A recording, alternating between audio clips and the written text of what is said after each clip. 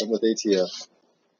Uh, he's on a list of uh, some devices that he purchased for firearms. Welcome back everybody. Once again, we are making one of those videos that we don't want to make, but we have to make to inform people about what's going on in America and the Alphabet Boys are at it once again. Of course, this time it is the ATFs, as you probably guessed from the title of this video. Uh, so uh, I want to give credit to Reno May. This video was shared with him because apparently the person who was targeted by the ATF here is one of Reno May's viewers and sent this information over to him. So if you guys want to see his video, check that out. There will be a link down below in the video description to do so. Um, but basically, somewhere out on the West Coast, I'm not sure where, the special agent in charge has been uh, cited on cases from anywhere from Arizona to San Francisco. So I'm not sure where this actually happened, but it is a West Coast division of the ATF. Uh, they, a couple agents went out and were looking for FRTs. So I'll let you guys take take a look at the video.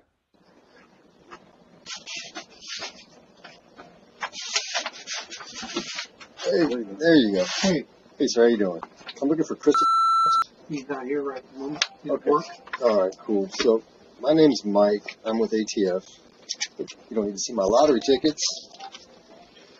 I'm with ATF. All right. He's on a list of uh, some devices that he purchased for firearms that he should not. on. So if he gets caught with it after this point, though, he's on notice as, as knowing that he's not supposed to have it. So Okay. Are, are you his father or? Yeah. Can I get your your, your, your name, sir? A couple things I want to talk about that we didn't see in that video, but you can see they did hand him some paperwork, and we'll take a look at the paperwork that was handed over right here. On the paperwork, first paragraph there, it says that this gentleman is believed to have purchased something from Rifle Remedy 2000 on Gunbroker. Now, if you guys have watched the channel here for a while, you'll know that Rifle Remedy 2000 has been a problematic account uh, for a few years now on various different ATF cases on things that they consider to be problem items. Uh, before we get into that, I should note what is an FRT because I know there's a lot of people here who are, you know, new and don't know what that is. So a force re- reset trigger is what is called an FRT. There's a couple of different companies that made them. You can actually still buy them right now. Uh, however, in I believe March of 22, the ATF sent a letter out to FFLs uh, stating that they believe that these items now are machine guns instead of just being triggers. Um, and they say that they fall into the definition of what a machine gun is. That is highly questionable. Uh, there has been several lawsuits about that. It very likely by just an plain reading of the definition of a machine gun that should be here on your screen. These absolutely do not work like that. There is more than, or excuse me, there is a single function of the trigger every time one round is fired. Uh, with an FRT, there's lots of slow motion videos uh, demonstrating this on YouTube. You guys can check them all out and look into it all you want, but I assure you FRTs are not machine guns. However, the ATF is currently treating them as if they are machine guns. So what does that mean? That means if you're an average person at home, like this uh, gentleman here who got a visit that if you had one of these items, you are subject to a $10,000 fine and 10 years in prison for owning one. It would be the same as if you had an unregistered machine gun. However, of course, as I just stated, these are not machine guns. Um, so there is that. But uh, they're stating that they got this information from that account. Now, according to the actual person who was visited, this person never posted any photos, anything like that of him owning any FRT triggers. Reason being, he doesn't own any FRT triggers. He did a gun broker search and landed on this person's uh, gun broker profile who was selling these which is what he believes prompted this visit from the ATF because he adamantly claims he does not own any FRT triggers. And I absolutely believe that is possible. But of course, the ATF doesn't care and they handed him over this letter. Now, at the bottom of this letter, it says, Immediately contact your local ATF office, then has the phone number, within 30 days of receipt of this letter to coordinate the abandonment of any and all FRT machine guns described above. Thank you for your uh, prompt attention to this matter. So uh, they're telling him he has to do this, has to turn this item over. So a few things to talk about on that front. Number one, the ATF shows up to your door, something like this, which is frequently called a knock and talk in law enforcement circles, uh, you do not have to talk to them at all. You do not have to open the door. That would be uh, one recommended course of action. If you do open the door and they identify themselves as ATF agents, because in this case, as you guys saw, they're not dressed in any sort of way uh, to identify who they are, they're federal agents. Uh, that is a tactic that is often used by law enforcement to sort of uh, get people to drop their guard instead of showing up in like a full ATF uniform or with uh, AR-500 steel plates and armor packages that we've seen in the past. Um, instead of doing that, uh, showing up like this makes it look like, hey, I'm just one of you. You don't have to be threatened. You can drop your guard and talk to me. Uh, obviously, don't talk to them.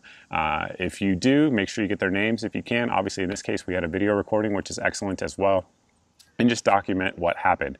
Uh, asking for a warrant would be the step, of course. If they actually had probable cause that this gentleman had a FRT, it would be very easy for them to go to a court and get a search warrant for the FRT. Uh, obviously, I don't want to say obviously, because maybe they did have it maybe they chose not to, which that alone is a separate rabbit hole that we could go down as to why, why law enforcement would choose not to get a warrant and would choose to use these type of tactics instead.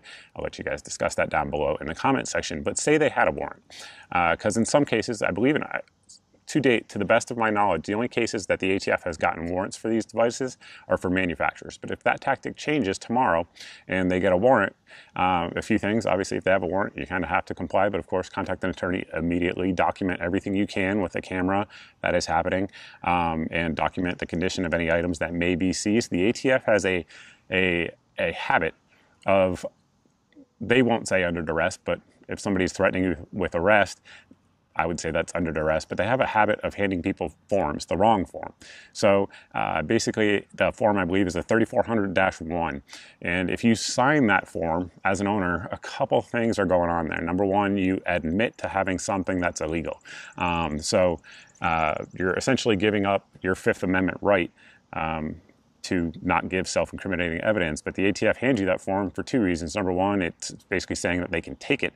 And then it also says that they can destroy it and that you admit to having something that is wrong. So if the ATF, for whatever reason, ever hands you a 3400-1, do not sign that. Ask for what is called a 3400-23. If you don't know what that is or you can't remember it, just pull this video up, reference it while they're standing there, and get yourself a 3400-23. That is the one you want. Um, what that form is, is just acknowledging the property they're taking, and it doesn't have any sort of destruction language or any sort of criminal language in it. Um, and in all fairness, if the ATF agents are doing the right thing, um, which you guys can debate that down below in the comments, they should never hand you the other form. Uh, they should hand you that form if it is in question. But um, so they did not have a warrant. And at this point, obviously, they don't have a warrant. They can just leave. In this case, the gentleman vehemently says he does, does not own AFRT at all. Maybe that is why they didn't get a warrant because they just saw his search history and didn't have probable cause that he actually owned it. I don't know.